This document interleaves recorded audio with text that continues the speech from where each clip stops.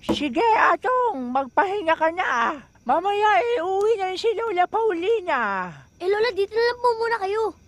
Oo nga, hindi biro yung ginawa nyo. Lola, maraming salamat po ah. Alam niyo naman ho, kaming dalawa lang ni Atong. Wala hong lalaking magtatanggol sa amin.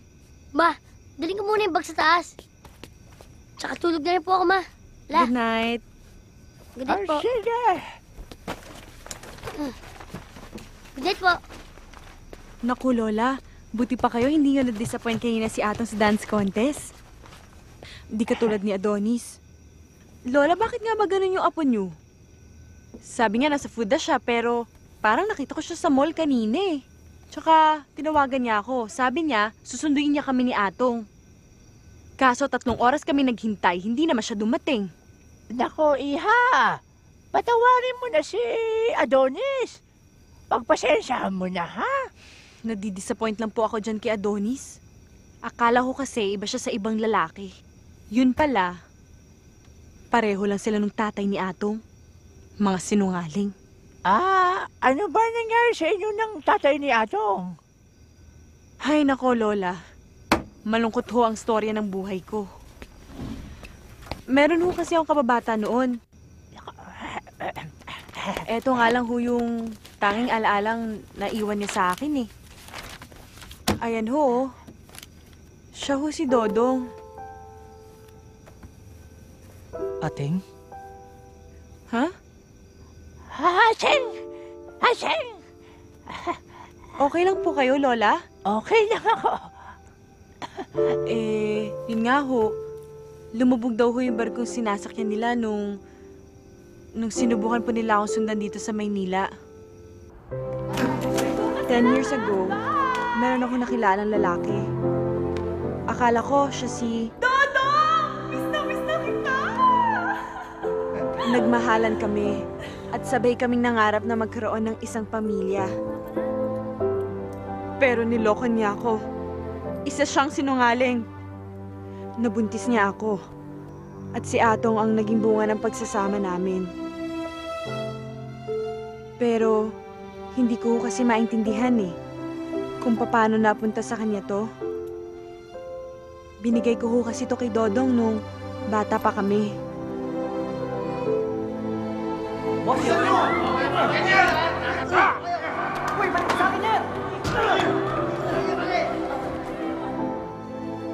Sayang naman ho ang pagkakaibigan namin ni Dodong.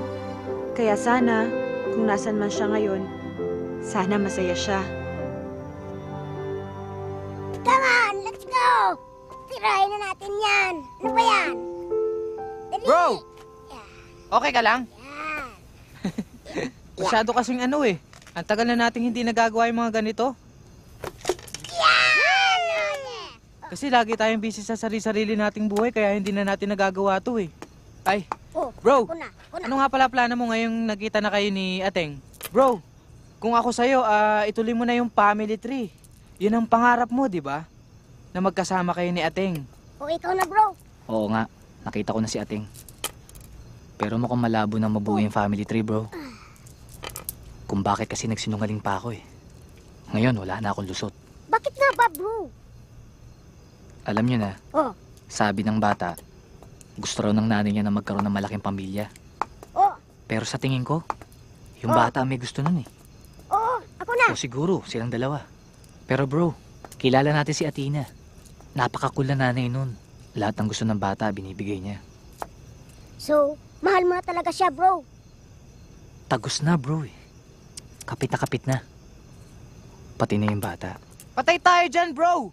Alam mo, Adonis, kahit na napamahal sila dyan kay Tita Barbara, kay Apple Dayap, at saka kay Lola Paulina, ikaw pa rin yun, bro eh. Ikaw pa rin yun, Adonis. Yun nga lang, bro. Hindi ikaw nakita nila eh. Kasi naka-costume ka. Kung nagawa mo sa kanila yun, siguro naman, kaya mong pakilala ang sarili mo sa kanila. Yung ikaw. Oo nga. Diba? Oh. Ere, oh. Tignan mo. Yung nasa text, oh. Ayan. Ayan. The truth will set you free. Mm.